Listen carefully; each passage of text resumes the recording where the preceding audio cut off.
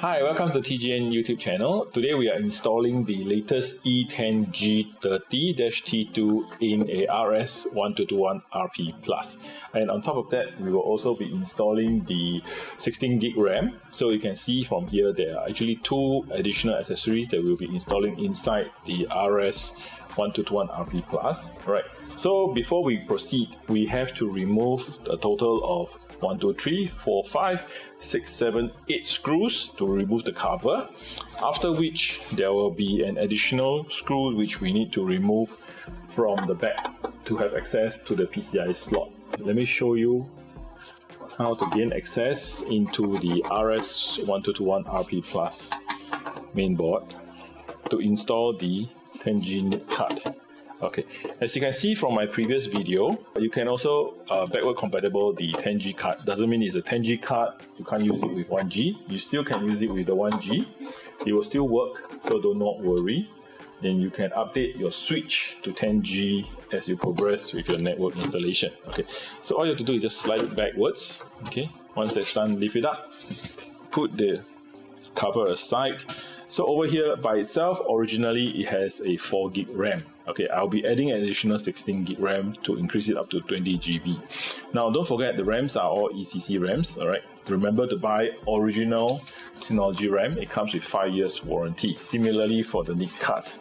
Now prior to having access to the PCI slot, the PCI slot, okay, you need to remove this additional panel or else you do not have access to it. So what I'm going to do now is I'm going to unscrew out cache, keep the screws, okay, you're to need it later, okay, pull out the secure tab, okay, after which slide out the original cover, put it aside and prep the card, alright.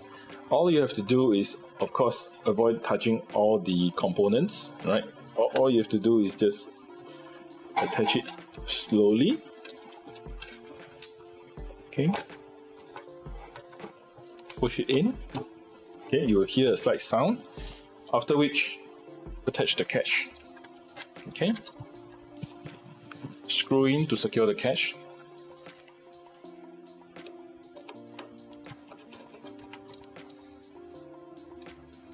And make sure it's secure and you can have access to the RJ45 connectors and it's done.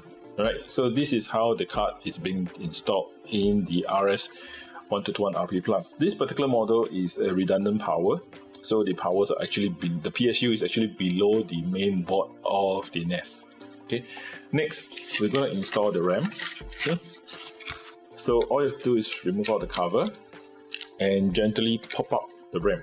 Okay, do take note of the edges for the RAM connectors. All right. So right now what I'm going to do is I'm going to pop out the RAM. Okay.